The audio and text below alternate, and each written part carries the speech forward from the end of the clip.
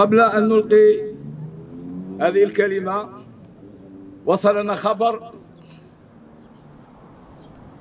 وفاة زوجة يوسف بن خدار رحمه الله سليمة الحفاف. بالحفاف يعني نقول توفت يعني اليوم وصلنا الخبر. لماذا؟ ونقدم كل تعازينا لعائلة الحفاف وعائلة بن خدام وهذه التعزية وهذه التحية أيضا مرتبطة بتاريخنا. En 1962 في 62 جيش الحدود أول انقلاب قام به جيش الحدود هو ضد الحكومة الجزائرية المؤقتة التي كان يترأسها في تلك الفترة يوسف بن خدام.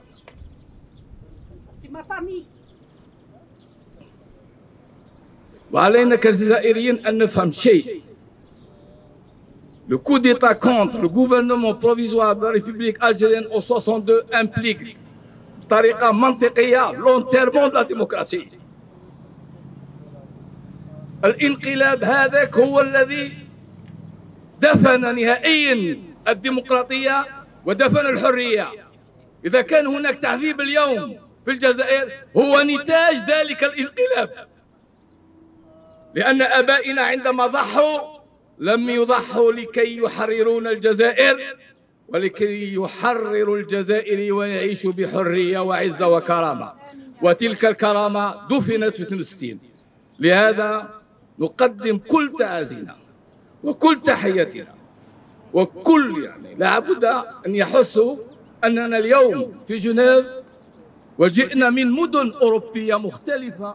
لهذا عندما يلتقي الجزائريون لتعرف الإصابة ويعرفوا الجزائر في الداخل l'Algérie elle là.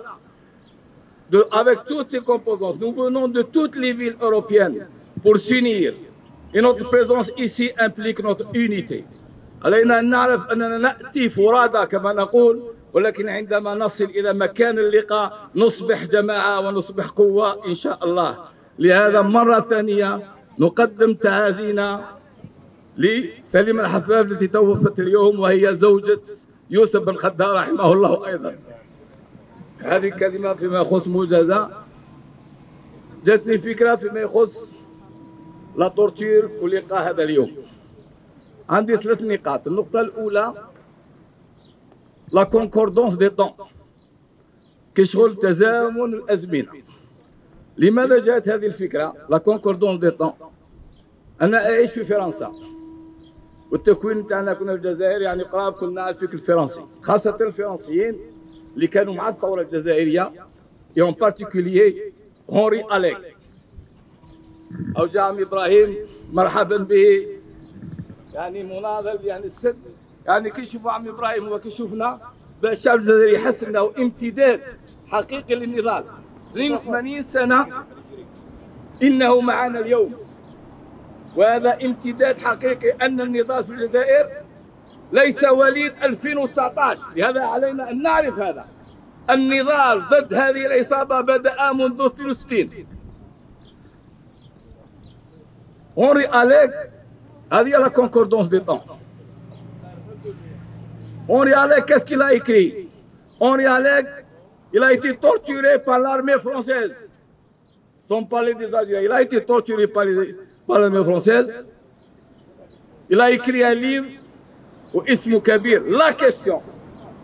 La torture était une véritable question posée à la conscience française et européenne à cette époque-là. Il a écopé de 10 ans de prison. يعني حتى في وقت استعمار الفرنسيين الذين وقفوا مع الثورة الجزائرية ووقفوا ضد الاستعمار النتيجة تاعهم كانت نفس النتيجة التي عاشها أبائنا sans parler de Maurice Audin. Il a écrit la question, la question de la torture. Pourquoi la question de grande question à cette époque-là لأن الفرنسيين خرجوا من الحرب العالمية الثانية خاصة résistants.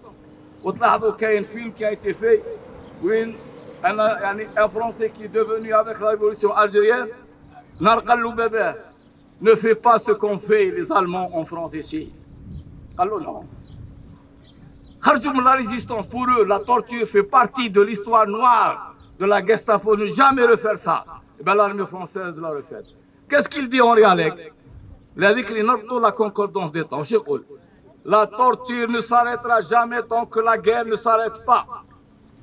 Pourquoi Parce que la torture, elle fait partie intégrante de la nature du colonialisme qui mène une guerre contre, contre les Algériens.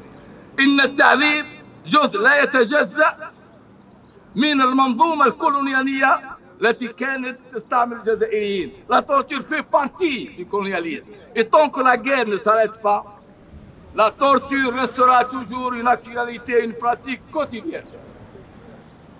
pourquoi je fais concordance des temps باش نقولوا لنفوسنا ونقولوا للجزائريين نقولوا الراي العالمي la torture ne cessera jamais en Algérie tant que ce pouvoir règne depuis 62 لأن هذا النظام بني على عدم الشرعيه واغتصب السلطه وجيش الحدود كما اعرفه هو جيش سلطوي احتلالي la torture ne cessera jamais chez nous en Algérie طون كو سو سيستيم بوليتيك ريان اون اجيري باسكو ce système-là, il a pris le pouvoir par la force, il a une illégitimité première depuis 62. La guerre d'Algérie est finie comme a commencé la conquête en Algérie. La conquête en Algérie de 1830 à 1870, presque les deux tiers de la population algérienne ont été assassinés. Elle était atroce. La, fin de la guerre d'Algérie, elle était atroce comme l'a été la conquête. نفس الشيء في الجزائر. التعذيب يبقى دائما ممارسة تاريخية لهذا النظام لأن هذا النظام قام على اللا شرعية والتعذيب يبقى une pratique qui fait partie de ce système دائما نقول لهم إحنا بزاف اللي يقولوا لنا أنتم تعرضوا في الخارج. قلت لهم يعني بكلمة بسيطة. لو كريم n'a pas de frontière pour pouvoir. خضر. Grib al-Qassem, Messili en 87. Ce pouvoir-là, il a toujours tué toute personne qui représente une menace pour son existence. Pourquoi on a assassiné Missili Parce que Missili était un médiateur. Il voulait unir les deux grands partis démocratiques à cette époque-là, en 87, entre le MDA et le FFS. Pourquoi on a assassiné Hachani en 99 Parce que Hachani représentait un homme médiateur, il était un pont entre l'ensemble des composantes politiques en Algérie النظام هذا السياسة الوحيدة تاعو هي القتل والتعذيب والتسجيل هذا تاريخه لهذا لا نخطئ اللي يتكلموا على إصلاح النظام الداخل مش مخطئون فقط كأنهم لا يعرفون النظام الذي ينتمون إليه le, le plus grand gouvernement réformateur en Algérie, c'est Mouloud Hamrouch. Quelle était sa finalité Lorsqu'on parle d'un mouvement réformiste ولا changer le système de l'intérieur il faut que هناك قابليه داخل هذا النظام للتغيير هذا النظام الهم تاعو الوحيد هو المحافظة على السلطة من أجل ماذا؟ تدمير الجزائر وتدمير الجزائريين. Il n'y a pas un pouvoir qui méprise son peuple comme le pouvoir.